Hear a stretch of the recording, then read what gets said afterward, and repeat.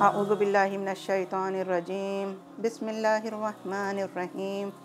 ماہ مبارک رمضان کے انیسویں روزے کی دعا جو سحر میں پڑھی جاتی ہے، وہ منظوم اور ماخوذ جو میں نے اس سے اخذ کیا معصوم کے کلام سے، برکتوں میں میرے حصے کی اضافہ کر دے۔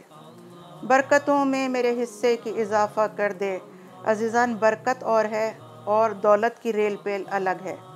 بہت زیادہ دولت مند ہونے پر بھی کبھی انسان یہ محسوس کرتا ہے کہ اس کے مال میں برکت نہیں ہے۔ برکت کیا ہے؟ برکت رزق حلال و طیب میں ہے۔